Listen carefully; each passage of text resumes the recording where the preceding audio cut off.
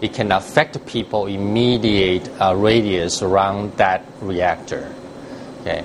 However, when the radiation uh, isotope, many radioactive iodine, evaporated into atmosphere, it can travel depends on the direction the wind and also the direction uh, of the cloud moving.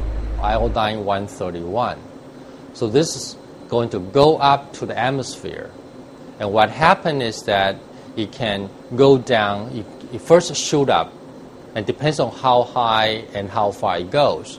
But eventually it will settle down onto the ground. It is in, in the water, in the pasture, and also eventually get into the food chain, including uh, cow's milk and also some of the water, drinking water. They are not evacuated. everybody, but only ask people to stay indoor because the major threat is not coming from the whole body exposure, it's coming from the radioactive material in the air.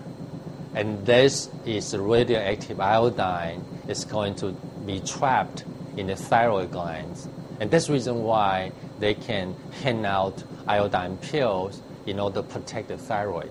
Once the diagnosis is made, it's a very highly curable disease, either by surgery or by radiation treatment to eradicate them, and people usually can live a long time.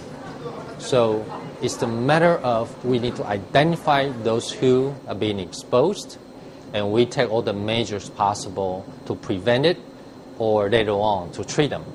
It's still very controllable, curable uh, situation.